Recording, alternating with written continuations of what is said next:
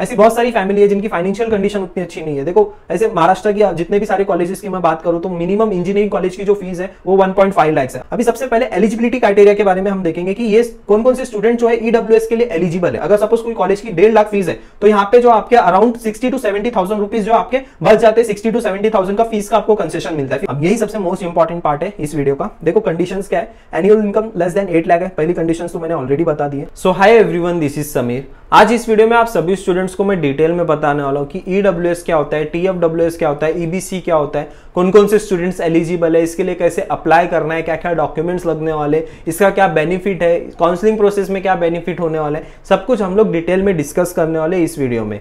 आज के इस वीडियो के बाद आप सभी स्टूडेंट्स को ई डब्ल्यू एस टीएफडब्ल्यूएस से रिलेटेड कुछ भी एक सिंगल डाउट भी नहीं बचेगा। तो प्लीज़ पूरे वीडियो को एंड तक ज़रूर देखना। सारी चीज़ें जो है मैं डिटेल में एक्सप्लेन करने वाला हूँ, सब कुछ हम लोग डिटेल में देखने वाले।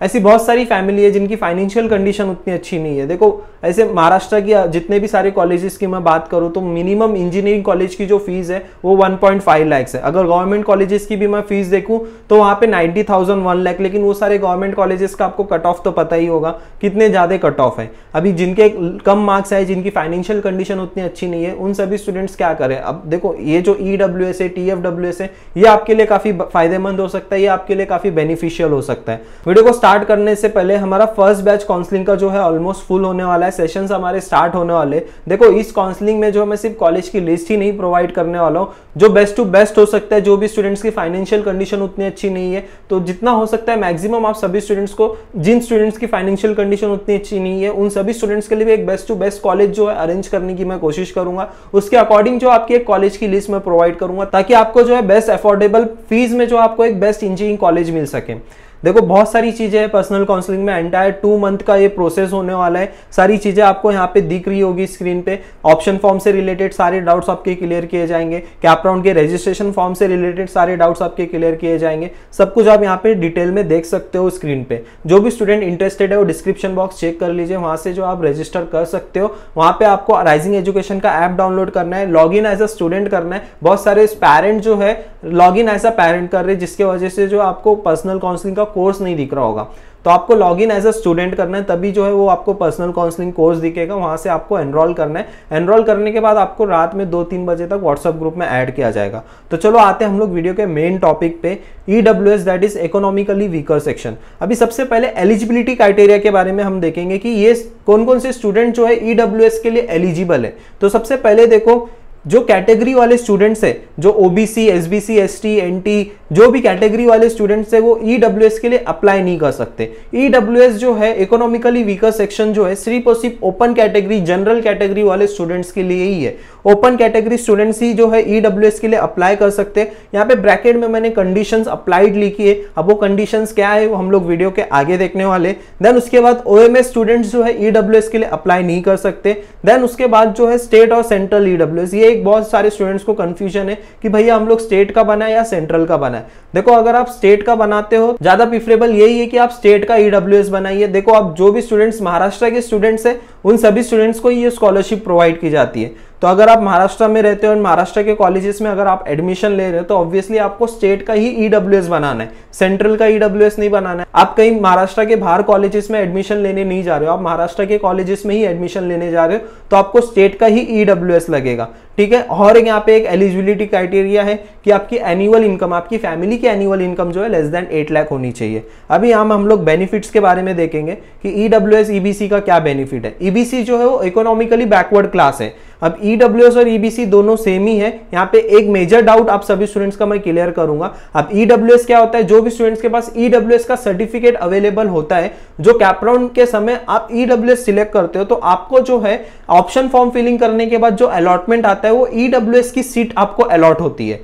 अब जो भी स्टूडेंट्स ईबीसी से बिलोंग करते हैं that is economically backward class जिनकी family income less than eight lakh है, वो लोग ईबीसी में आते हैं। अब उनका जो एडमिशन वो ओपन कैटेगरी में ही होने वाला है, लेकिन एडमिशन होने के बाद वो स्कॉलरशिप के लिए अप्लाई कर सकते हैं। आपकी अगर annual income less than eight lakh है तो। अभी यहाँ पे बेनिफिट्स की अगर मैं बात करूँ तो सबसे पहला जो मेजर बेनिफिट है, कि आपकी 50 परसेंट ट्यूशन फ़ीस जो है ऑफ़ हो जाती है। अगर सपोज़ कोई कॉलेज की डेढ़ लाख फ़ीस है तो यहाँ पे जो आपके around sixty to seventy thousand rupees जो आपके बच जाते हैं सिक्सटी टू सेवेंटी थाउज़ेंड का फ़ीस का आपको कंसेशन मिलता है। फिफ्टी परसेंट ट्यूशन फ़ीस जो है ऑफ़ हो जाती है। ये सेम जो है ओबीसी के लिए भी अप्लाई होता है। ओबीसी में भी जो है 50 परसेंट ट्यूशन फ़ीस ऑफ़ होती है। देन कट ऑफ़ में आपको बेनिफिट देखने को मिलेगा। अब टॉप कॉलेजेस में जो है कट ऑफ़ इसका ज़्यादा जाएगा, लेकिन जो एवरेज कॉलेजेस है, उन सभी कॉलेजेस में जनरल से एज कंपेयर टू ईडब्ल्यूएस वालों का कट ऑफ़ जो है लो जाता है। देन थर्ड बेनिफिट ये है कि हर एक कॉलेज में महाराष्ट्र के जितने सारे कॉलेजेस है, सारे के सारे कॉलेजेस में 10 परसेंट सीट जो है ईडब्ल्यू स्टूडेंट्स वालों के लिए रिज़र्व है। अगर 60 सीट है इनटेक कैपेसिटी कोई कॉलेज की अगर 60 है तो 6 सीट जो है वो सिर्फ़ और सिर्फ़ ईडब्ल्यू कैटेगरी वाले स्टूडेंट्स के लिए। तो ये मेजर बेनिफिट्स है ईडब्ल्यू ईबीसी वाले स्टूडेंट्स के लिए। अब you can save up to three lakhs rupees in four years देखो, अगर कोई कॉलेज की फ़ीस डेढ़ लाख है तो हर साल आपके सेवेंटी थाउज़ेंड रुपीज़ बच रहे। अब कोई कोई कॉलेजेस की one point eight lakh to lakhs ऐसे भी फ़ीस है। कोई कोई इंजीनियरिंग कॉलेजेस की। वहाँ पे भी आपके around eighty eighty thousand rupees बच जाते हैं। तो अराउंड आपके थ्री लैक्स जो है ईडब्ल्यू के थ्रू बच रहे जिनकी भी annual income less than eight lakh है, वही सभी स्टूडेंट जो है इसके लिए अप्लाई कर सकते हैं। अभी अप्लाई करने के लिए कौन कौन से डॉक्यूमेंट्स लगेंगे, अभी हम लोग ये देखेंगे। तो यहाँ पे आप स्क्रीन पे देख सकते हो, ये टोटल छह डॉक्यूमेंट्स है। सबसे पहला इनकम सर्टिफिकेट इनकम सर्टिफिकेट पे less than eight lakh annual income होना चाहिए। देन डोमासाइल ऑफ़ फादर आपके फादर का डोमासाइल होना चाहिए। अब ये डोमासाइल जो आप अपने फादर का बना सकते हो, देखो अभी जो भी स्टूडेंट्स का 18 एज कंप्लीट नहीं है तो आपका डोमासाइल नहीं बनेगा। आपके फादर या फिर मदर के नेम का डोमासाइल बनेगा। ठीक है? देन उसके बाद लिविंग सर्टिफिकेट लगेगा आपको। देन 1967 अब सबसे मोस्ट इंपॉर्टेंट ईडब्ल्यूएस वालों के लिए सबसे मोस्ट इंपॉर्टेंट यही प्रूफ है कि आपको 1967 का प्रूफ दिखाना है कि that you are belongs to Maharashtra state आप महाराष्ट्र स्टेट में 1967 से रह रहे हो, ये आपको शो करना पड़ेगा ईडब्ल्यूएस के लिए। अब काफ़ी सारे स्टूडेंट्स के पास यही डॉक्यूमेंट मेजर यही डॉक्यूमेंट नहीं होता है, लेकिन जो भी स्टूडेंट्स महाराष्ट्र से बिलोंग करते हैं, जिनका गाँव महाराष्ट्र में ही है, उन सभी स्टूडेंट्स के पास यूजुअली कुछ ना कुछ डॉक्यूमेंट्स रह ही जाता है। पापा का डॉक्यूमेंट या फिर ग्रैंड का एलसी सर्टिफिकेट ऐसे कुछ ना कुछ तो डॉक्यूमेंट रहता ही है तो आपका ईडब्ल्यू e सर्टिफिकेट जो है बन जाएगा। देन फिफ्थ जो डॉक्यूमेंट है दैट इज़ एफिडेविट अभी एफिडेविट क्या होता है? सेल्फ डिक्लेरेशन फॉर्म अभी जो मैंने स्टार्टिंग में वीडियो के स्टार्टिंग में बताया था कंडीशन अप्लाइड अब वो कंडीशन अप्लाइड क्या है, हम लोग इसके बाद देखने वाले उसके लिए आपको एक सेल्फ डिक्लेरेशन फॉर्म फिल करना होगा। सेल्फ डिक्लेरेशन फॉर्म आपको बनाना होगा, जहाँ पे जो है सभी कंडीशन को जो है, वहाँ पे आपको नोट डाउन करना है। देन उसके बाद अपडेटेड आधार कार्ड और एक बैंक अकाउंट भी आपको लगने वाला है, जहाँ पे आपको जो है स्कॉलरशिप की अमाउंट वहाँ पे आपको बैंक अकाउंट में आने वाली है। बैंक अकाउंट आपका नेशनलाइज बैंक अकाउंट में होना चाहिए तो ऐसे कोई भी लोकल बैंक अकाउंट नहीं ओपन करवाना है। आधार कार्ड आपका अपडेटेड होना चाहिए स्टूडेंट का एज वेल एज आपके पेरेंट्स का भी। दोनों का आपका आधार कार्ड अपडेटेड होना चाहिए स्पेलिंग मिस्टेक नहीं होनी चाहिए। आधार कार्ड जो भी स्टूडेंट्स की मिस्टेक्स है ट्राई करो, जितना जल्दी हो सकता है आप अपडेट कराने की कोशिश करो। ठीक है, अभी हम लोग देखते हैं यहाँ पे कंडीशंस क्या है। अब यही सबसे मोस्ट इंपॉर्टेंट पार्ट है इस वीडियो का। देखो कंडीशंस क्या है?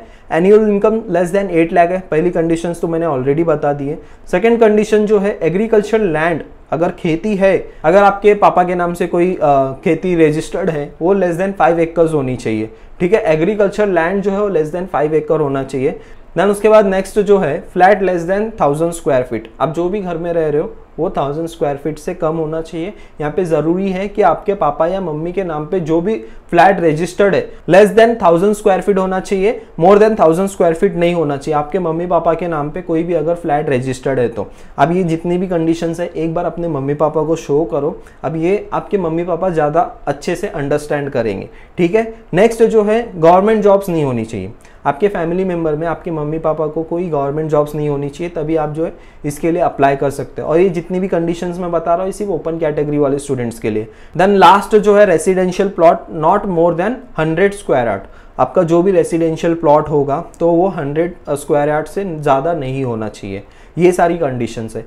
आई होप ईडब्ल्यूएस से रिलेटेड सारे डाउट्स आपके क्लियर हो गए होंगे, कैसे अप्लाई करना है, क्या बेनिफिट्स है, उसकी क्या कंडीशंस है, सारी चीज़ें हम लोग ने डिटेल में देख ली। अभी बसता है टी एफ़ डब्ल्यू एस अब टी एफ़ डब्ल्यू एस क्या होता है? ट्यूशन फ़ीस वेवियर स्कीम अब ये बहुत ही सिंपल है, इसको अंडरस्टैंड करना बहुत ही सिंपल है। टी एफ़ डब्ल्यू एस के लिए महाराष्ट्र का हर एक स्टूडेंट अप्लाई कर सकता है। कोई भी स्टूडेंट जो है टी एफ़ डब्ल्यू एस के लिए अप्लाई कर सकता है। सभी के सभी स्टूडेंट्स जो है एलिजिबल है टी एफ़ डब्ल्यू एस के लिए। ठीक है? इनकम बस लेस देन एट लाख होनी चाहिए एंड यहाँ पे इसका जो मेजर बेनिफिट ये है कि आपकी hundred percent tuition fees off हो जाती है। अठारह से पच्चीस हज़ार, इस रेंज में आपकी कॉलेज की फ़ीस हो जाएगी पर ईयर आपकी अठारह से लेके पच्चीस हज़ार पर ईयर की फ़ीस आपकी इतनी होगी। अगर आप टीएफडब्ल्यूएस के थ्रू अगर सीट लोगे तो।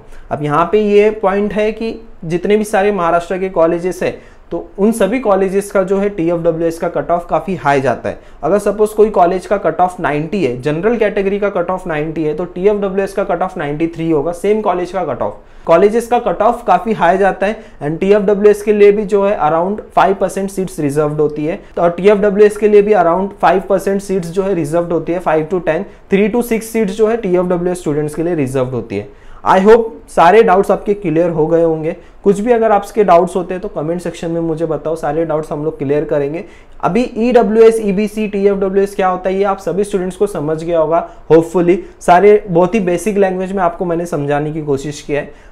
अगर आपको पर्सनल काउंसलिंग से रिलेटेड कुछ भी अगर इंक्वायरी करनी है तो आप ये दो नंबर पे कांटेक्ट कर सकते हो। सेशंस हमारे स्टार्ट होने वाले। जितना जल्दी हो सकता है आप एनरोल कर लीजिए। फ़र्स्ट बैच हम लोग का फुल होने को आया है। ठीक है? मिलते हैं फिर नेक्स्ट वीडियो में। आई होप आज का वीडियो आपको यूजफुल लगा होगा। और ऐसी यूजफुल वीडियोस देखने के लिए चैनल को ज़रूर से ज़रूर सब्सक्राइब करना। मिलते हैं फिर नेक्स्ट वीडियो में। तब तक के लिए थैंक यू